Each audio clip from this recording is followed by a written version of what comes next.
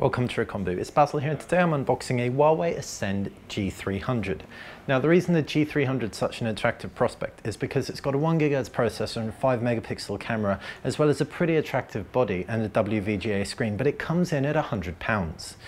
So let's take a look inside the box and before we do let's take a look at the outside. We can see just some nice bright vibrant colours and a list of all the specs reeled off.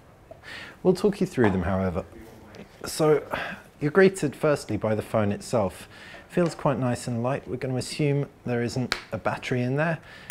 Yep, as we remove the back cover, we can see that. So inside the box will probably be the battery. Put that to the side and we can open the box within a box. Looking inside, we've got a data cable, micro USB to USB.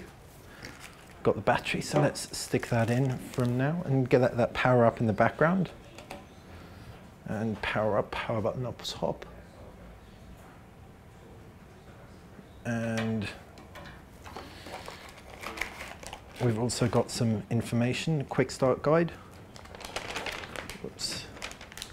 As you can see, nice visual quick start guide. Whoops. And you've got headphones. Now the headphones aren't the earbud variety, but that said, for £100 we wouldn't expect them to be. Finally, in the box is a powered charger.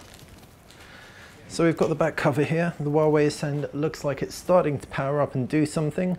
So let's jam the back cover on and we can take a quick look around the device itself. Now the back cover might look like it's metal, but the entire construct is actually plastic, although it does feel very solid, very robust. As you can see, you've got Android 2.3 on board. Got a 4-inch WVGA screen. To the left-hand side is a power, a volume rocker, sorry, and the right-hand side you've just got this little area you can slide your fingernail under to open the back cover. Right at the bottom is a three um, micro USB port, sorry, and up top is a 3.5mm headphone jack and a power button. Flipping the device around, 5 megapixel camera and a single LED flash.